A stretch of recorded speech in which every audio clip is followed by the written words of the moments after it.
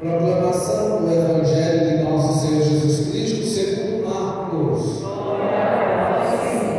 Naquele tempo, Jesus e seus discípulos atravessavam a Galileia. Ele não queria que ninguém soubesse disso, pois estava ensinando a seus discípulos.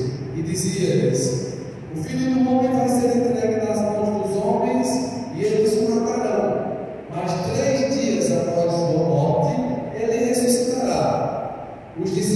porém, não compreendiam estas palavras e tinham medo de perguntar. Eles chegaram a Cafarnaum.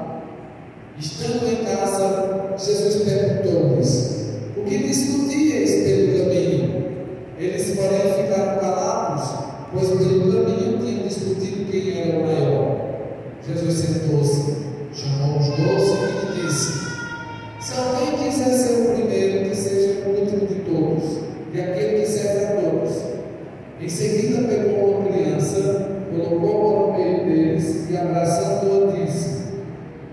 Quem acolher em meu nome uma destas crianças, é a mim que estará acolhendo. E quem me acolher, está acolhendo não a mim, mas aquele que me enviou.